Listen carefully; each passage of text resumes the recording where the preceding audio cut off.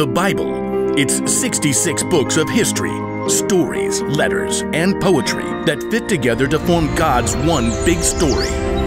The epic adventure of how He created us and loves us so much that He made a way to rescue us. As we travel through the Bible, from Genesis to Revelation, we discover people who met God and found their lives changed forever.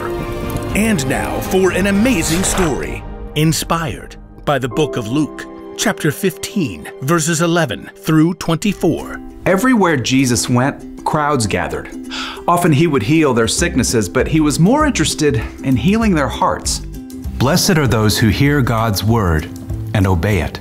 Important religious leaders came to hear Jesus, but everybody else did too. Moms and dads, shopkeepers and tax collectors, misfits, and other people who did wrong things. The last will be first, and the first will be last. The religious leaders were angry Jesus chose to welcome everyone. He hangs out with sinners and even like eats with them. Jesus knew the hearts of the religious leaders. They believed that keeping all the rules made them closer to God than anyone else.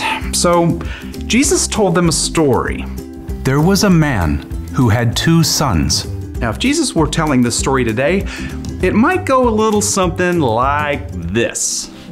They're two brothers. We'll call the older brother Will and the younger son Jake. Uh, these two young men were just a little different from each other.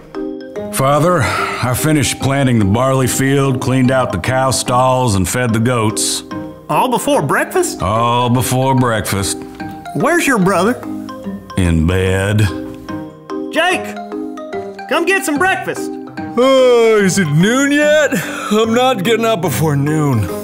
I need you to help your brother rebuild the shed. Don't we have servants to do that?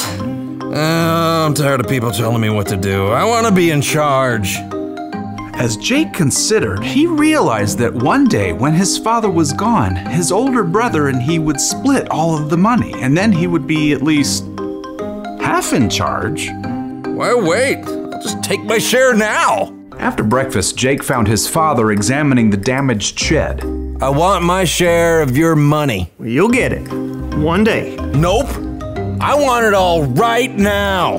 The father studied Jake with sadness in his eyes. Then he decided to let Jake learn the hard way. All right.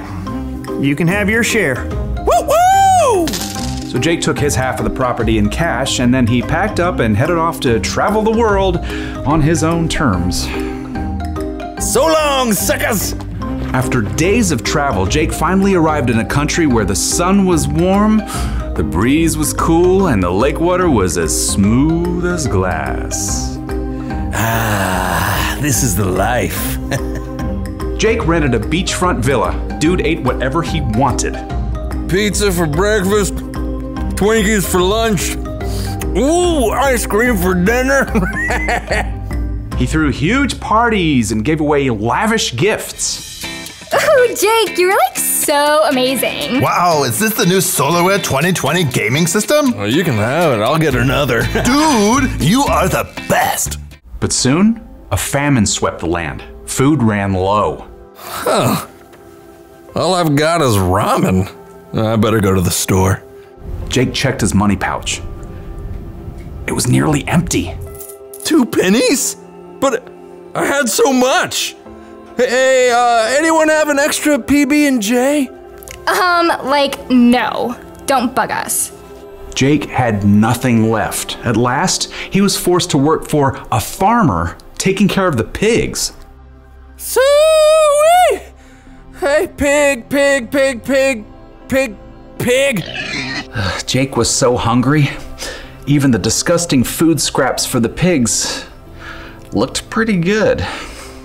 The crust is the best part of the sandwich, right? Or this. Don't you touch that there banana peel. It's for the pigs. This is so not kosher. As Jake crouched down in that miserable mud with those pigs, he couldn't help thinking of home.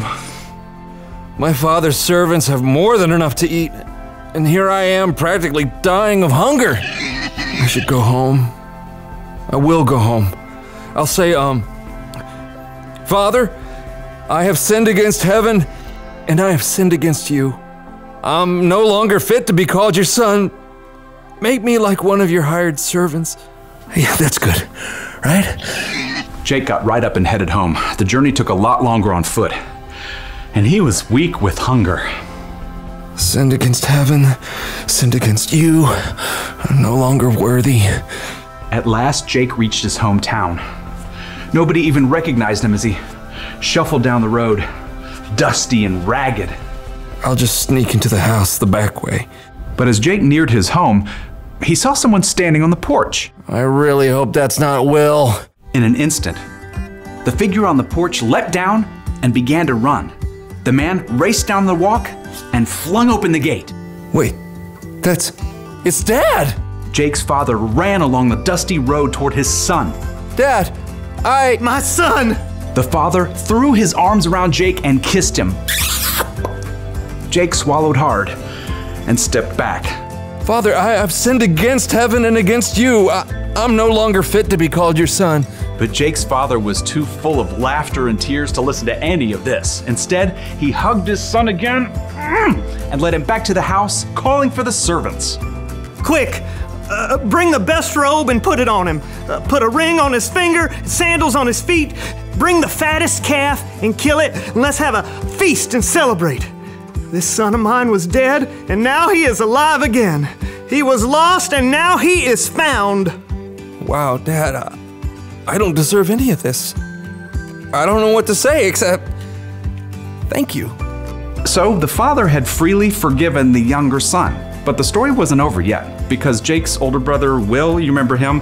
He was out working hard in the fields, and well, Will would turn out to be far less forgiving than his father.